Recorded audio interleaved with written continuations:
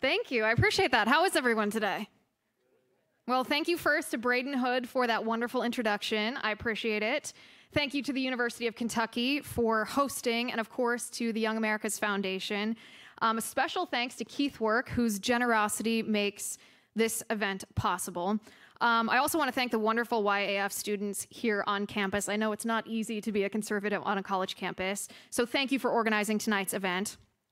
And most of all, I want to give a huge thanks to the nation of Denmark, where a pastor's wife is on trial for crimes against humanity for criticizing her church for sponsoring a gay pride event. Now, the reason that I'm thanking Denmark instead of cursing them is because it demonstrates exactly what happens when the radical left takes their favorite buzzwords and tolerance, for example, inclusion, equity, hashtag no hate, and actually incorporate those buzzwords into law. The perverted law then becomes a weapon, and a weapon of the left, I should say, which they use to subjugate you because they hate you. But let me not get ahead of myself here. I'm here with you tonight to defend the title of my speech, which is easy to do if we are playing by the rules of the radical left. The left actually does hate you. Yes, you, each and every one of you. Now, you might be thinking, but Liz, a stupid policy from a liberal doesn't mean the liberal hates you. Some politicians are just stupid. Others are out of touch. Maybe they're even self serving, but hate is an awfully strong word. Well, let me ask you this tonight. What is hate?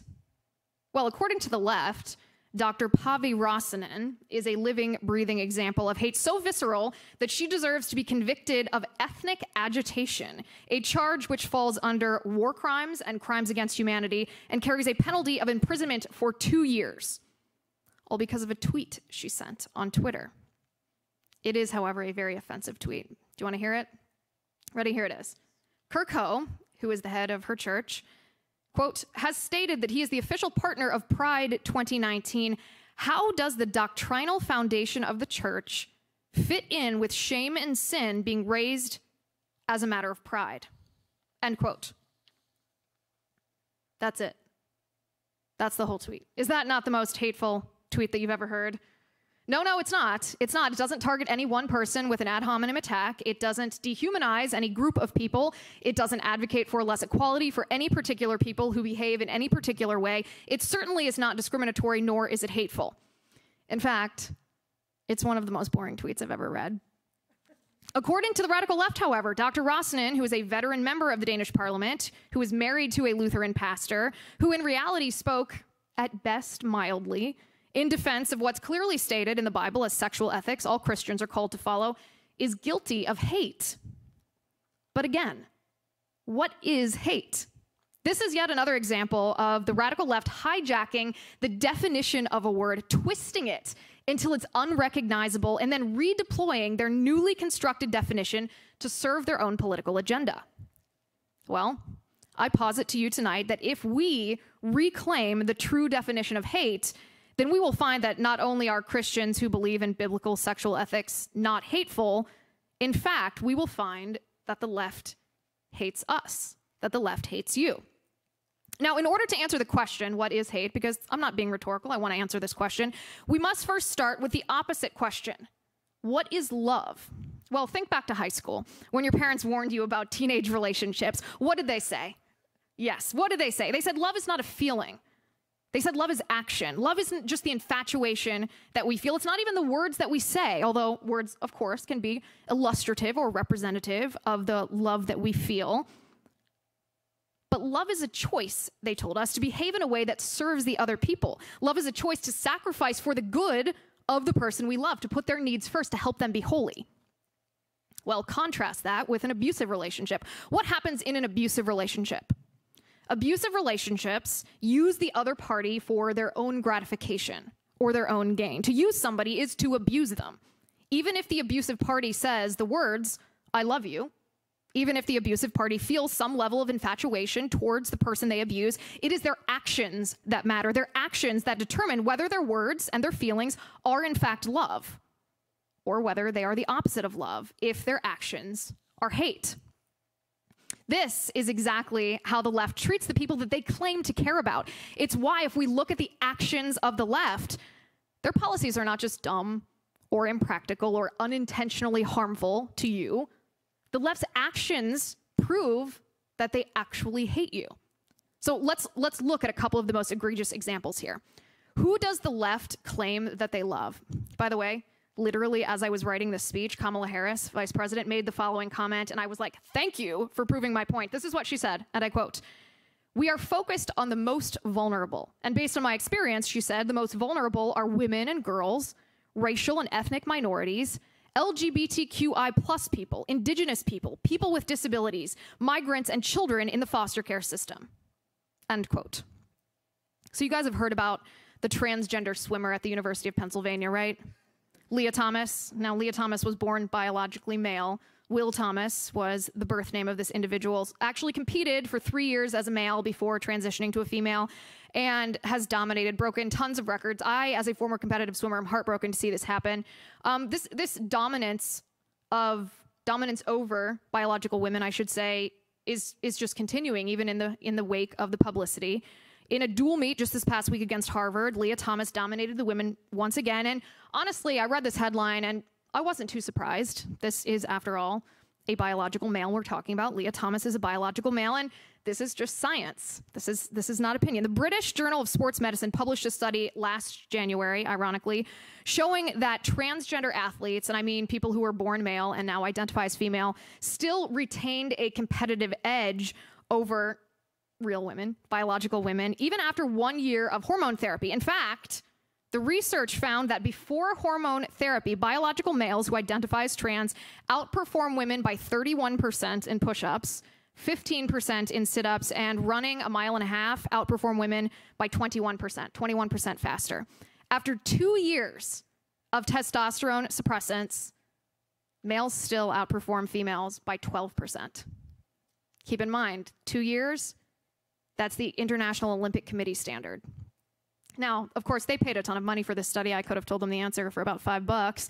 But none of this, none of this is surprising. We all know this. Everyone sitting in this room knows this. This is reality. In fact, even liberal women recognize that the radical left's transgender agenda is existentially harmful to biological women. A teammate of Lia Thomas at the University of Pennsylvania spoke anonymously for fear of retaliation, which is understandable, about the situation. And here's what this teammate said. Quote, Women are now third class citizens. Lia was not even close to being competitive as a man in the 50 and 100. But just because Lia is biologically a man, Lia is just naturally better than many females in the 50 and 100 or anything that Lia wasn't good at as a man. The top people at the NCAA who are on the board of directors, they are not protecting women's rights. Because it's women, they don't care. Now get this. This teammate goes on to say, quote, I am typically liberal, but this is past that. This is so wrong. This doesn't even make any sense. I can't just sit back and let something like this happen. I'm not just going to sit back and say, my rights are being taken away. Too bad. It's embarrassing, she said, that people aren't speaking out more. End quote. This is a liberal college student. And yet, we are told by the left that the left is a champion of women. Think of Kamala Harris's words that she spoke just yesterday. We are focused on the most vulnerable, she said, and in my experience, that is women.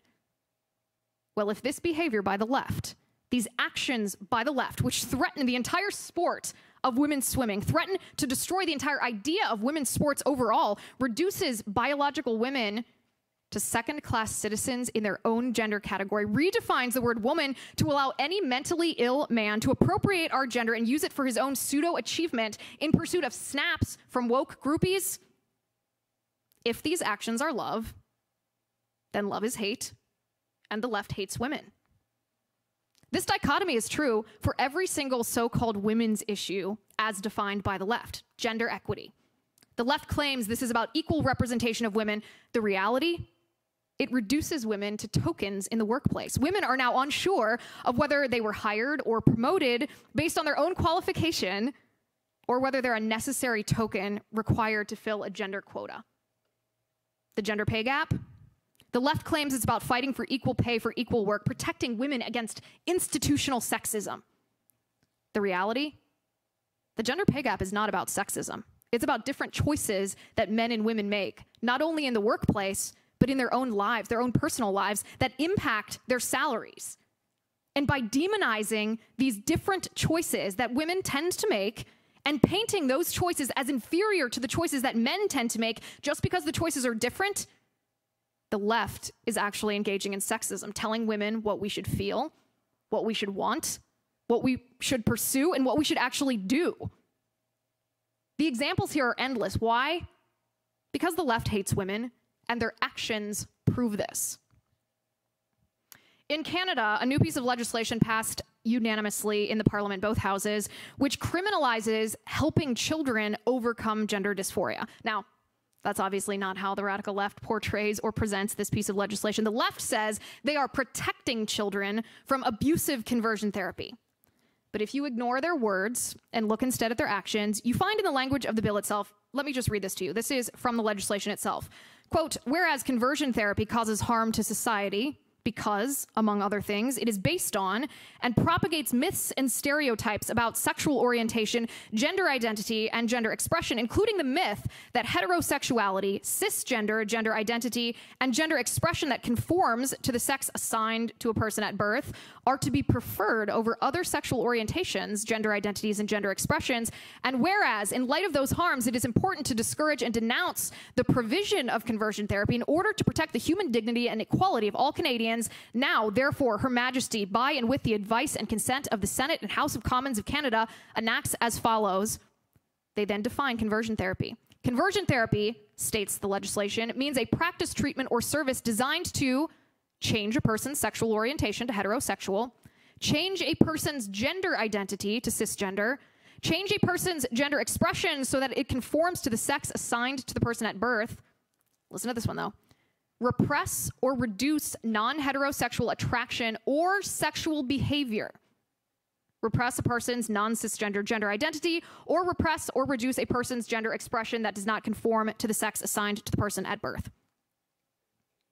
It's pretty shocking, isn't it? So, what's presented to us as a ban on abusive conversion therapy actually criminalizes a Christian counselor, for example, telling a promiscuous teenager, you know, it's probably not a good idea for you to be promiscuous if you if you have same-sex partners. Those are two pretty different things. Remember, too, nearly 90% of children under the age of 18 who suffer from gender dysphoria recover by adulthood if they do not transition socially or medically. Conversely, if they are transitioned, they are subject to non FDA approved puberty blocking drugs. And when I say non FDA approved puberty blocking drugs, I'm talking about same medication, the same medication that some states used to sterilize, to castrate convicted child sex predators. These children are, are subject to irreversible surgery, then, that mutilates their bodies, permanent sterilization, rendering them infertile for life, in addition to the fact, of course, that none of the above is curative for gender dysphoria. So compare the words to the actions. What the left says is completely irrelevant because their actions prove the left hates children. In Flint, Michigan, the school district there recently announced they would return to remote learning, and I hate that phrase. More accurately, it is described as Zoom school, indefinitely. Indefinitely. Based on what science, you might ask? Well, the answer is none. Children are very low risk for severe COVID 19, particularly with the Omicron variant. Yet, even the Surgeon Gen- General under Biden acknowledges a tremendous mental health crisis sweeping our nation's youth. Suicide rates for teenagers and pre teenagers, children, skyrocketing in the face of lockdowns, face masks, fear, and a pervasive, poisonous narrative that other people aren't people, they are pathogens to be avoided at all costs. The left hates children and they hate you, so they will use your children to get you. At the same time, while the left is relegating kids to indefinite Zoom school, the left is also actively trying to remove any choice from parents that the parents might have to choose other options for schooling for their kids. They are against school choice, the left is. They try they are actively trying to prohibit homeschooling, the left is. They even have in their crosshairs parental consent to medical procedures for minors. In the state of California, there is a bill right now in the California State Senate. It's Senate Bill 866. It was introduced by Senator Scott Wiener, who is living up to his name. This bill would allow children as young as 12 years old to be vaccinated without the, without the consent of their parents. Now, this bill is presented as just about COVID 19, and it's presented as if it is an accommodation it is presented as an accommodation to parents' schedules. This is what Scott Wiener writes about it. He says, This gives young people the autonomy to receive life saving vaccines regardless of their parents' beliefs or work schedules. This is essential to their physical and mental health. But this is not just about the COVID 19 vaccine, as terrible as that would be in and of itself. This applies to all FDA approved vaccines, including ones that just have emergency use authorization. So, a 12 year old child against the consent of his parents, pressured perhaps by school counselors, can be subject to these medical procedures. If this is not an assault on parental rights, then I don't know what is. The left hates parents. Think about the definition of an abusive relationship that I spoke about before when one party uses the other party for gratification or gain. Using someone is abusive. And the left is using parents to consolidate political power in the hands of government that they control. That is abusive. The left hates parents, and their actions prove this. What about kids in foster care? We're just going to go down the line of Kamala Harris's comments. The left's prescribed solution to the very real issues that we do face in our foster care system is to kill the unborn baby before she is born so as to avoid the foster care system altogether. Is that love? Let me state the obvious here murder is hate. The left actually celebrates the abortion committed against 65 million unborn baby girls and boys that have happened in our country since Roe v. Wade became the law of the land. The left hates foster kids. The left hates unborn babies. The left hates mothers. Their actions prove this. In fact, People magazine, I saw this just this past weekend. People magazine published a pictorial for the 49th anniversary of Roe v. Wade uh, this pictorial contained quotes from celebrities, photos and quotes from celebrities who have had abortions and why they got those abortions. Now, they presented this pictorial, People magazine did, in a positive light. They claim these celebrities are speaking out um, about their own experience to support other women in similar circumstances to know that it's okay to have an abortion. But there's a common theme in these statements from these celebrities. So, if I may, I'd like to read a few of these quotes. Uma Thurman said the abortion that she got was, quote, the hardest decision of my life.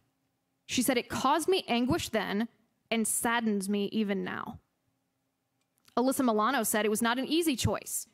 It was not something I wanted, but it was something I needed. Amber Tamblyn said, It was one of the hardest decisions I've ever had to make. I still think about it to this day. Milla Jovovich said, It was one of the most horrific experiences I have ever gone through. I still have nightmares about it. I was alone and helpless. Nicki Minaj said, It was the hardest thing I've ever gone through. It's haunted me all my life. Sharon Osbourne said, I had an abortion at 17. It was the worst thing I ever did. I was terrified. She describes the abortion clinic as full of other young girls, and we were all terrified and looking at each other, and nobody was saying a bloody word. I howled my way through it, and it was horrible. She says, I would never recommend it to anyone else because it comes back to haunt you. Jameela Jamil and Minka Kelly both claim that the abortions that they had were best for the baby to avoid poverty or being unwanted, or so they claim. But what is the common thread here? The common thread is regret, trauma, and coercion. Who propagates this abuse of women? The left does. The left who claims to love women. They don't. The left hates women and hates unborn babies. Do you see this pattern emerging? Love is not a feeling. Love is not only words. Love is actions. And so is hate. Hate is not a tweet from a pastor's wife about why her church is sponsoring a gay pride parade. Hate is not offending the left or contradicting liberal policies. Hate is an action. Hate is how the left treats women and children and parents and the LGBTQ community and babies in foster care and unborn babies. I've almost run out of time to describe how the abuse inflicted on the left by uh, the abuse inflicted by the left on migrants and minorities. Suffice to say this my husband is a medical provider and he worked for the Border Patrol. He worked in a Border Patrol detention facility. He provided medical care to the migrants that were held there after they crossed illegally into our country. And when I'm talking migrants, I'm talking MS 13 gang members, I'm talking drug traffickers, human traffickers, convicted felons. And you know what? The Border Patrol did separate grown men from women and children. They did separate teenage boys from women and children. They did separate these families. Why? To protect them because some of the people held in these facilities were predators. And you don't house grown men with little children. You don't house teenage boys with women and children. You don't house young teenage boys with grown men for their own safety. And yet, the left demonized this separation. Why did the left demonize this separation? Because the left hates migrants. Look at any one of the left's policies that encourages migrants to come here, to come here illegally, to claim, falsely claim asylum. And while they're encouraging this for their own political goal, 30% of women and children who are trafficked to our southern border are sexually assaulted and raped. Because the left hates migrants. And why does the left, by the way, who claims to champion black people as well, why do they support the Black Lives Matter movement demonizing police, burning down buildings, and ransacking black owned businesses, and feeding a false narrative, a completely, empirically, provably false narrative that police harm black people solely because they are black. Which leads leftists in government to defund police, which hurts black people the most. Well, by now the answer should be very obvious because the left hates black people. So, no, Stupid policies from liberals are not just accidental from stupid politicians or from out of touch elitists or even from self serving hypocrites.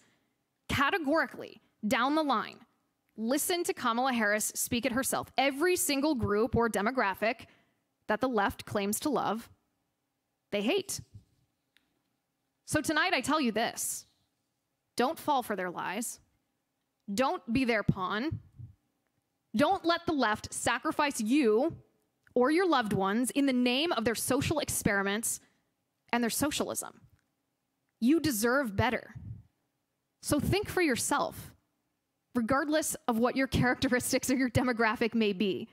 Use critical thought, question authority, follow the facts, trust yourself, and don't let radical leftists in politics or in the media or those blaring their nonsense from the pulpit of corporate wokeism, or poisoning our minds in pop culture with cultural Marxism, or anybody bully you into being a sheep. They hate us, so let us together reject them. Thank you very much.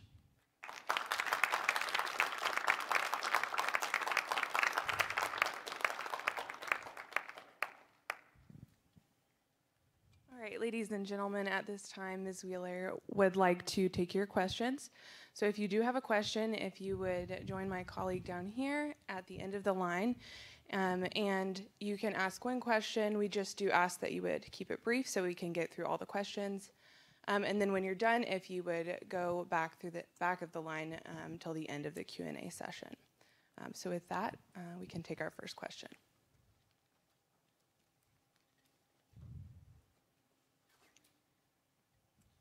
Hello. Hi, uh, what's your name? Caleb. Hi, Caleb. How you doing? I'm doing all right. Uh, my question is, given the fact that, as you say, the left actually hates us, um, isn't it time to start considering what many people have been calling a national divorce, or separating entirely from these people? You know, dissolving the political bands that connect us to these people who hate us and everything about us. Well, I hear you quoting from this is a good question. I hear you quoting from the Declaration of Independence to dissolve the political bands which uh, connect us to another and to assume among the powers of the earth, you know, our right to self determination and self government. The problem with this line of thought is the reason that the founders dissolved the political bands which connected them to the tyrant King George is because they had exhausted all other recourses. There was no other recourse uh, for them to right the wrongs or to to abolish these ties that they that the tyrant King George was using to abuse them. And so I don't think we're anywhere close to that in our country. I think they're that sometimes it can feel hopeless. It can seem hopeless if you turn on the mainstream media and listen to them telling all white people that they're racist and all black people that they're oppressed, hearing them say that capitalism is wrong and that Marxism is the way to go. But truthfully, you and I have a tremendous amount of recourse. We can run for government at the state or the local level, at the national level. We can use new media to challenge these. Um, to challenge the radical leftists. We can, I mean, there's so many things that we can do. We can mean, look at what parents did, taking over school boards that were teaching critical race theory and transgender bathrooms in Loudoun County. I mean, we have so much power as individuals that we are not even kind of close to dissolving the political bands which connect us to the radical left. In fact, it's the radical left that is misapplying the truths and our inherent rights, which are codified into the Constitution, they are misapplying them. And so they are in violation of our founding principles, um, and which makes it, theoretically at least, all the easier to correct it. We're not anywhere close to uh, splitting apart as a nation. Thank you for your question.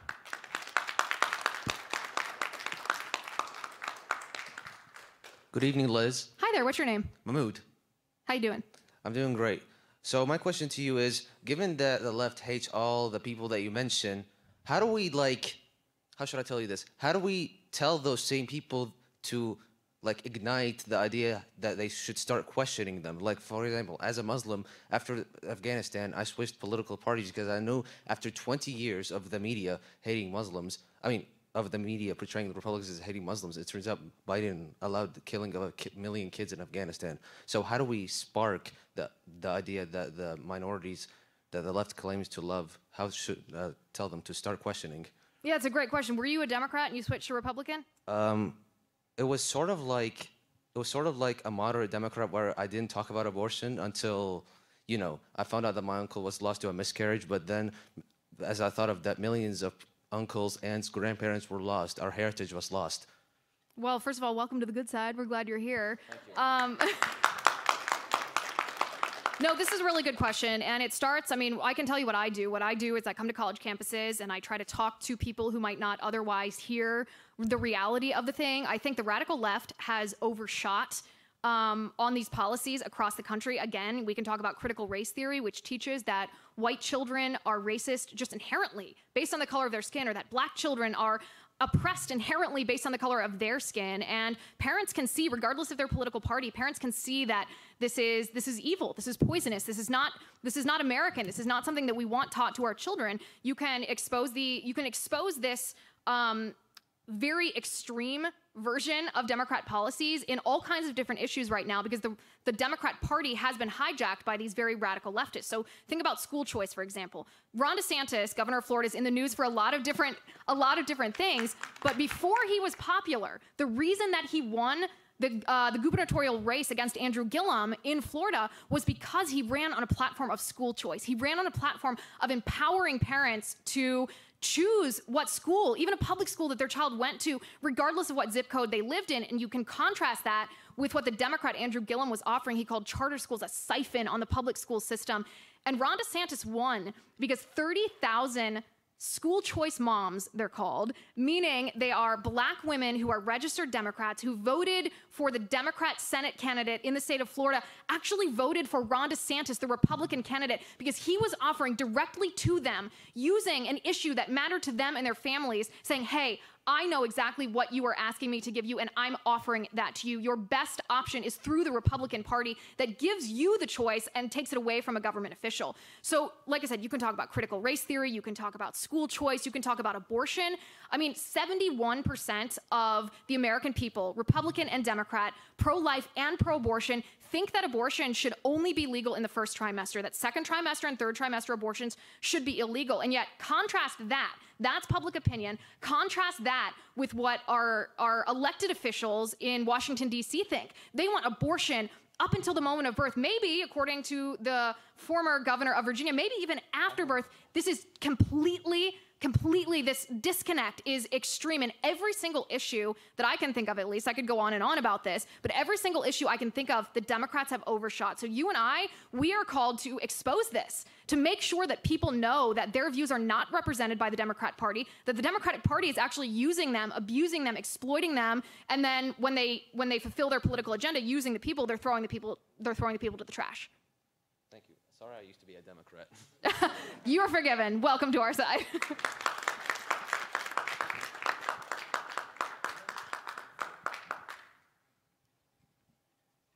Hello. Hi there how are you I'm good. How are you doing? good So, when you were talking, I uh, you mentioned Canada's uh, law about conversion therapy, and you went over all of the details, and you didn't seem to agree with that. So, I'm kind of wondering, would you agree with some type of ban on certain forms of conversion therapy, which scientifically is definitely a bad thing? And I think that also plays into how we view parents' rights and do parents have an absolute right to their children or how much of an how much of a right to autonomy do children have? Sure, this is a great question. So, what was really important about this piece of legislation in Canada is actually the same thing that it's the same or very similar, at least language wise, to a piece of legislation that was introduced by, ironically, Senator Scott Wiener in the state of California several years ago that I was instrumental in derailing. And the important thing to look at is how they define conversion therapy right? Because how they define conversion therapy in the California bill, but also in the Canadian bill, isn't really a ban on conversion therapy. It is a ban on um, even the idea that someone could counsel a teenager, a homosexual teenager, to behave in a certain way, meaning a parent might say, listen, we don't want you to have different people spending the night all the time. That's not how you behave in our roof or under our roof. Or a youth pastor saying, you know what? You know, studies have shown scientifically that the more sexual partners you have, the less you're able to bond with other people. We really recommend that you not behave in this way for your own good. Um, because we know that that's best for you. I mean, these types of things are illegal under the definition of conversion therapy that the left is proposing. So that's that's the first thing. The second thing is when we're talking about adults, do I think that conversion therapy should be banned even if it doesn't work? No.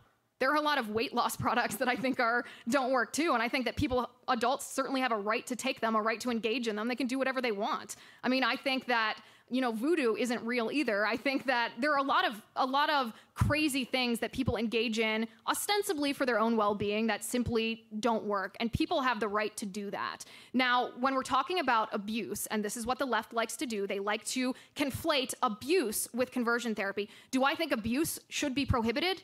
Yes, it already is it's already against the law to abuse a child. It's already against the law to harm, physically harm a child. So, what I always like to say is the left tries to paint conversion therapy as being one of those abusive, pray the gay away camps where young boys were beaten if they admitted to having any same sex attraction. That, of course, is wrong. That is morally wrong. Nobody disagrees with that, which is exactly why the radical left wants you to think of that when they say conversion therapy. So, that is my answer about conversion therapy. When it comes to parental rights, I do believe parents have dominion over their children. I don't think the government has dominion over their children unless the fundamental, inherent, God given rights, life, liberty, and the pursuit of happiness, are being violated. The children are being violated, unless they are being physically abused. I mean, we have a pretty high bar for government involvement in parental rights. We have a pretty high bar for how um, how we allow parents to be bad parents, and we should. I think it makes you a bad parent if you just feed your child fast food every day and your child becomes very unhealthy. But do you have a right to do that as a parent? Yeah, you do.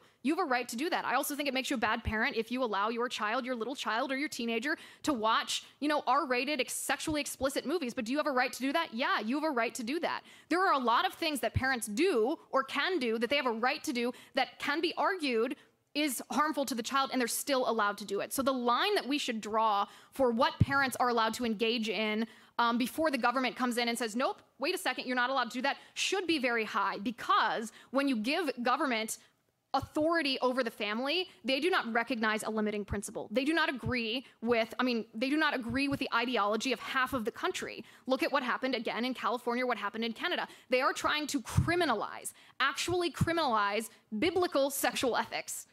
And so if we give if we give the government parental rights, if we give government dominion over people's children, then we are essentially saying, well, parents, Christian parents, or Jewish parents, or even Muslim parents, may not have the right to, to pass down and teach their children the principles or the religious beliefs that they adhere to as a family. And so, as a country, it's extremely important that we pr- protect the family unit. It's the foundation on which this country is built.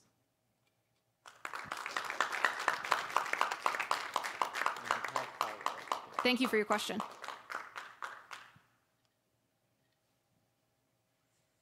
Hi there. Hi. Um, one thing I just wanted to mention first uh, I come from the great state of Florida, so I feel very privileged to have all those types of freedoms, and I feel very safe in my home. Um, so, on to my question, which I've uh, written down. Um, so, I, I just I was just curious, as I'm sure you're aware, we've been in the middle of like culture war, um, pretty pretty fierce culture war recently, and it's only been escalating, and the left just seems to be getting more extreme. Um, I'm curious if you have an opinion on how we could maybe somehow just end this one way or another, and if you think something like the 2022 election might help solve these types of issues that we're having and start focus on real life issues. Well, I guess I would challenge your point that the culture wars aren't real life issues. I think that they are they spark the passion and the outrage on both sides to the extent that they do because of their importance, because the role of the family, the role of parents, the role of marriage, the role of sex, the role of life, all of these things are really tantamount. They are they are the essence of who we are as a society, of who we are as human beings. And so when these issues are threatened in some ways, it threatens the fabric of a society. And I believe that's what the left is trying to do. They are trying to threaten the fabric of our society. They are trying to tear down the institutions our country is built on, whether that be governmental institutions like the Supreme Court or the Senate or the Electoral College, whether that's cultural institutions like gender, like marriage like the family, like parental rights. They are trying to um, tear down these institutions, including, you know, we saw that with the Black Lives Matter movement. They're trying to tear down the criminal justice system. They're trying to abolish due process. They are trying to undermine these institutions on purpose. Again, this is this goes back to what I was saying in my speech tonight. This is not arbitrary. This is not just stupid politicians, out of touch politicos, elitists that don't understand the ramifications of their policies on everyday Americans. No, they're doing this on purpose because they have to undermine the institutions of our country in order to usher in Marxism because they understand, these leftists understand that Karl Marx's vision of a worker led revolution isn't going to happen. The workers are not going to rise up. And so these Marxists, these leftists need another vanguard. So they divide us by race primarily. They divide us with this gender ideology, hoping that this causes so much outrage, this causes so much division that we actually do from within tear down our own institutions so that then they can usher Marxism in. So I don't think that it's going to go away in 2022. I do think that we as conservatives are called to fight these battles. I know sometimes social issues are uncomfortable for conservatives to talk about. We might prefer talking about the economy or national security or foreign policy, but we really, it's incumbent, especially on Gen Z, especially on the millennial generation, to speak about these uncomfortable topics because this is where the left is waging their attack. And if we don't stop it, then then it will be too late. Well, thank you so. Thank you for your question.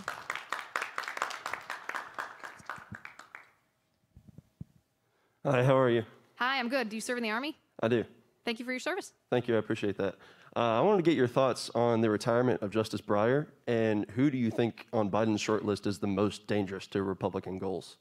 Oh, um, first, let me go on a rant which I have been sharing with uh, friends and family across the board for the past two days. It is so fundamentally insulting to all women for Biden to say, I am going to appoint a black woman to serve on the Supreme Court. Like, what could possibly be more insulting to women? What could this is what it's called is tokenism, right? That he is picking someone based first on her immutable characteristic, her gender, and the color of her skin. And it's tokenism, it's two times. It's tokenism times two, because it's not just about her gender, it's not just about uh, it's also about the color of her skin. And what happens if you engage in this kind of tokenism is it harms all women all across the country because then the next woman who is promoted or who gets offered a job, who achieves some kind of achievement, is going to stand there and wonder to herself, did I get this job? Was I promoted based on my qualifications because I earned it, because I deserve it? Or am I just am I just a gender quota? Am I just a racial quota? And what's worse than that, what's worse than women thinking this in their own heads, men are going to be thinking this too. Think about, look, men are shaking their head in the audience right now. Think about being in a corporate boardroom. Think about if a woman is promoted in the workplace and a man is not. What do you think that man's going to be thinking? He's going to be thinking, did she really deserve that? Or is it just because she's a girl? This is so fundamentally damaging to everything that women have fought to achieve in the last hundred years in our country. Biden, Biden should be absolutely ashamed of himself and watch very closely. This goes back to what I said in my speech tonight. Watch very closely for which people, Republican and Democrat, actually speak up and say, wait a second, this is really insulting. This is really harmful to all women. Because the people who don't speak up, well, they hate women because it's very obvious what this does to women across our country. So that's my long answer. My short answer is all of his choices are abysmal. Thank you.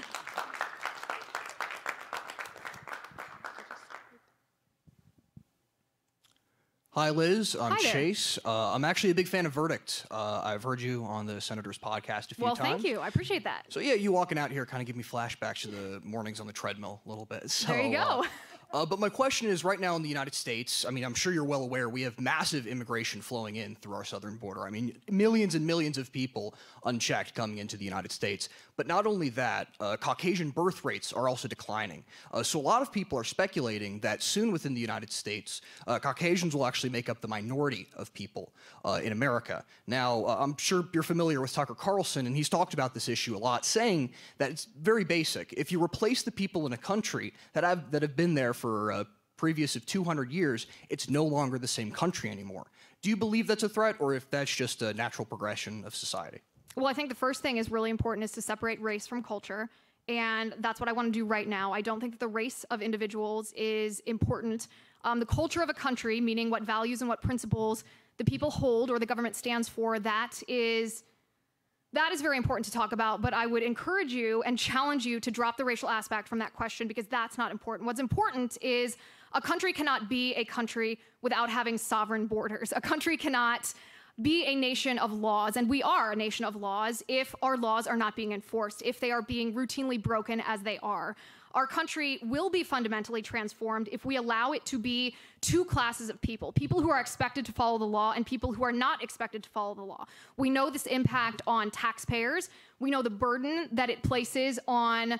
Um, people who work and pay part of their paycheck to the government to have that part of their paycheck fund other people's law breaking activities. We also know it's fundamentally unfair to those who have gone the right way, who have come to our nation through our legal immigration systems. Now, there's no argument, I think, that our legal immigration systems need to be reformed. Um, and we can have a debate sometime on what that looks like, you know, what level of immigration is best for a nation. That's a valid conversation, a valid debate to have. But I would circle back and really challenge you to leave the racial aspect of that at the door because when it is tinged with race, then there is an insinuation that culture has something to do with race or that people are who they are based on the color of their skin. And I would categorically reject that. Thank you for the question.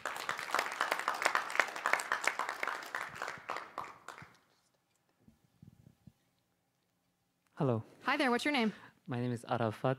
Uh, I'm from China. Well, I'm glad you're here tonight. Thanks for being here. Yes, And uh, I'm a really good student of Marxism. But anyway, I'm a minority in China, and I am. I've been there. I lived and I born there uh, for 16 years, and then I do have a very, very uh, rich experiment on living under the socialism or communism. And I came to the United States in 2016, and until now, I'm kind of more involved in politics, and my major is politics. I'm the Uyghur minority in, in China, and uh, hopefully everyone knows what's going on with my race, uh, ethnicity. So when I came to this country, and I have, I have seen the young people and all this, because China have experienced 10 years of cultural revolution, and I know what they are up to because I, you know, the communist stuff. So kind of seeing those young students are very kind of some some people like very proud of themselves to be a liberal and then like they don't really know what they're up to but they just you know when they see me as conservative they were like you're a minority why would you do that i was like because i come from the country that make me had a lot. So what can we do as the young student in this Uni- university of kentucky to help other to realize the you know the truth? Because I myself as a single person I'm even scared that my country my country's hand is everywhere. They can even you know I'm really scared of being political act- activity in the other country because I'm still the citizen of that country. And uh, but what can American student and me include can do to help persuade those left students to realize the truth that we are I am actually suffering, and I don't want this country to become the country I came from because I just want to enjoy the freedom, and now this country is turning to the something that I don't want to see. So, what can young Sure. people can do? Well, it sounds like you have a very compelling life story. And the first thing that I would say is welcome to our country. We're glad to have you here and continue to share your story with as many people who will listen. As you know, one of the reasons that the radical left wins arguments or typically wins younger voters is because they target younger voters with emotion. The Republican Party, unfortunately, tends to trot out white papers and think tanks and policy proposals, and it's very boring and dry, even if even if they're technically correct. What the left does is they speak to young people where young people are. They use emotion to elicit an emotional response that makes that makes young people want, just based on their feeling, to support the Democrat Party or to feel like they're progressive. But what you can do is you have an actual personal story that's relatable and compelling and important to tell to young people. And the emotion is not emotional manipulation, the emotion is real because your story is real. So I would encourage you to share it with every person that you possibly can and also to pose questions. What I do when I'm talking directly to a leftist trying to change their mind is I, I try to hold back all of the data that I have, try to resist the data dump, if you will, because that's always my inclination is to be like, I have a thousand reasons why you're wrong.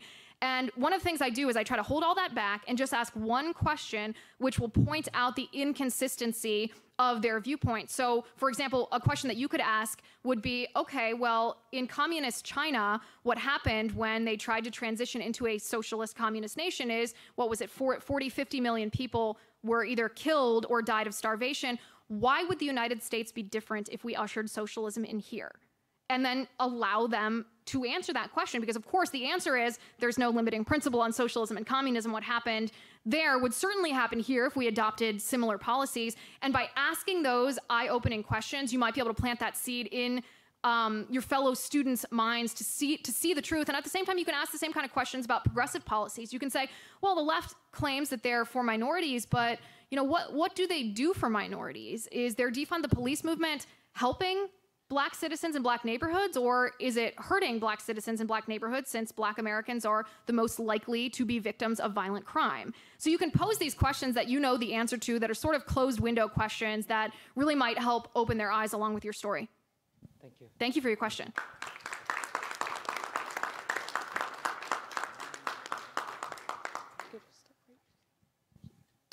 Um, good evening, Ms. Wheeler. Uh, my name is Elijah.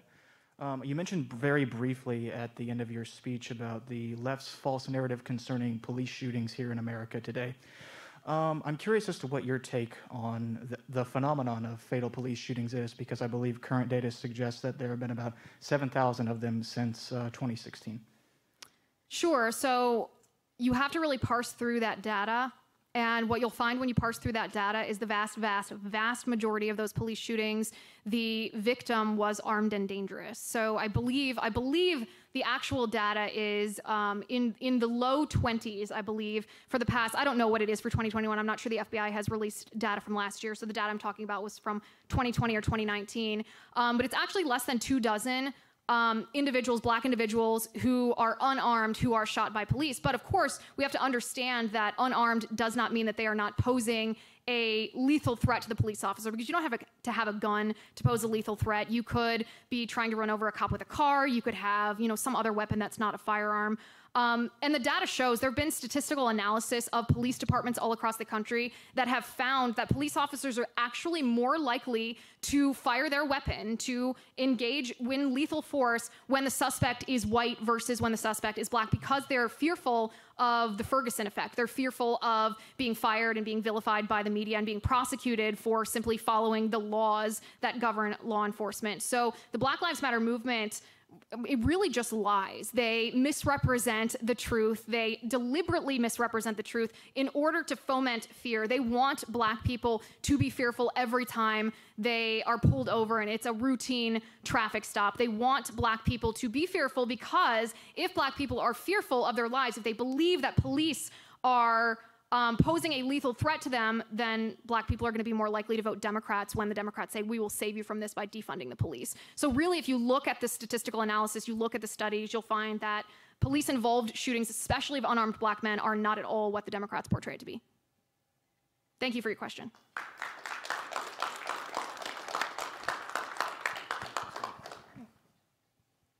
Okay, so ladies and gentlemen, this will be the last question of the night. Thank you. Good. That's great. Uh, Liz, welcome. Uh, my name is. Walter Ferrier. I'm a professor in the business school here. And more importantly, I'm the faculty advisor for the local YAF chapter. Well, so thank you wanna- so much for doing Yep. that. I want to extend my uh, welcome and thanks to you uh, for coming here. In my view, one form of hate is ostracism. And I think a lot of the students in here, and, and on occasion, we faculty feel somewhat ostracized uh, due to our conservative principles. But one arena in which ostracism is taking place is in the military non vax naval officers, a whole batch of them were fired today. Uh, also, naval personnel, well, military personnel in general, are being hunted down because of their conservative principles or their tendency to be deplorable. And this comes at a bad time when uh, the Russian forces are on the, on the brink of perhaps moving into Ukraine. So, what are your thoughts about ostracism, vaccinations, conservative thought in the military? Sure, it's a great question. And again, thank you, Professor, so much for sponsoring the Young Americas Foundation group on this campus. It, it makes the experience very different for students when they do have that community to go to. And not all faculty are willing to do that. So I appreciate that on behalf of all the students here.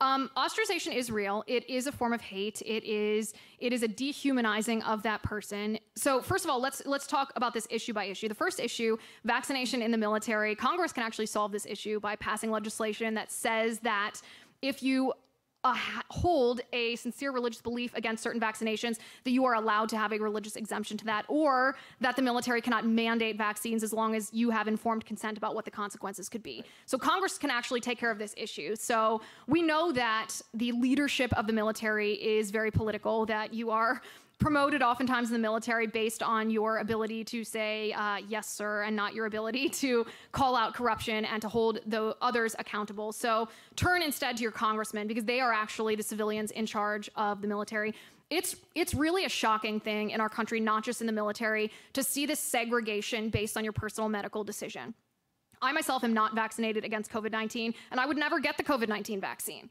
And I don't say this to be bombastic. I say this because why would I? I am at very low risk of COVID 19. I've actually already had it and recovered perfectly fine because I'm at very low risk of it.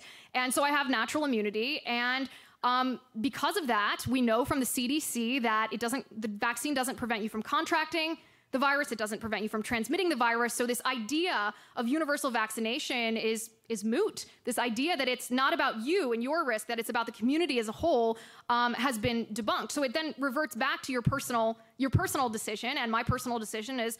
I'm not at risk, so I'm, I'm not willing to suffer the short term consequences. We actually don't know what the long term consequences are, especially for people with autoimmune issues like me. It's not been studied. We have no idea. I refuse to be party to the use of aborted fetal cell lines, no matter the distance between um, the vaccine and an abortion. It's simply not enough for me to justify it. And it's really shocking in our culture that we have normalized this idea that it's okay to ask each other about our personal medical procedures because it requires people to share things that they might not otherwise want to share. I'm, I'm in the public eye, and so I understand that that's part of my job. I want to share with you the reasons that I do things, but the segregation that's happening, I just went to Washington, D.C. last week, and restaurants are empty. You go in there and you're asked about your vaccination status. There's a cloud and an aura over the city. People are depressed because they know this is this is tyranny and so it's really up to us we know that politicians when given the opportunity to abuse their power will abuse their power it's not a, it's not a question of when it's a question of if and so it's up to us the american people to say enough to say, I will not comply with this. This is not the America that I will live in for myself and my children. And, you know, I, I, will be perfectly frank with you here and say I've been a little disheartened the last two years that this line that I thought when politicians cross this line, the American people would finally say, enough. I've been pretty disappointed to see this line get pushed further and further down the road, and Americans say, oh, well, you know, 15 days just below the spread. Now it's two years and counting, or masks for six weeks will eradicate the virus. Now it's going to be masks until all eternity, or, you know, six month olds with three courses of the COVID vaccine. Are you kidding me? Um, th- this this entire idea that we are now living under medical tyranny is something that you and I, all of us, should speak out against. And until we do, the left is going to be able to weaponize ostracization. And ostracization, as we all know from the lockdowns and from the dehumanizing aspect of masks, is absolutely brutal, and we shouldn't allow them to wage that over us. Bingo. Thank you. Thank you. Thank you all so much for being here tonight. It's a pleasure, it's an honor to talk to you. And I encourage you, I challenge all of you on your college campus go out, talk to the students who disagree with you the most, engage with them, invite them to debate you, to debate you, ask them the questions, ask them, prove to me that the left is a champion for you. Prove to me that their policies are good for you. Show me evidence that what the left says is congruent with what the left does. And what you'll find is you'll find that they won't be able to answer you. You'll find that they'll try to cancel you, that they might have to run away to your safe space, but you might somewhere plant that seed, plant that seed that's necessary for the idea that conservatives and Republicans and limited government and individual freedom and inherent human rights that that's the answer to our cultural and societal ills, that that's the answer to what every person, regardless of their politics, wants out of their life. So again, I challenge you, I deputize you, go out on your college campuses, do this, and thank you again for having me here tonight. It's really an honor and a pleasure to talk to you. If you haven't already, please subscribe to my podcast anywhere that you get your pods. It's the Liz Wheeler Show. Thank you. Thank you for having me.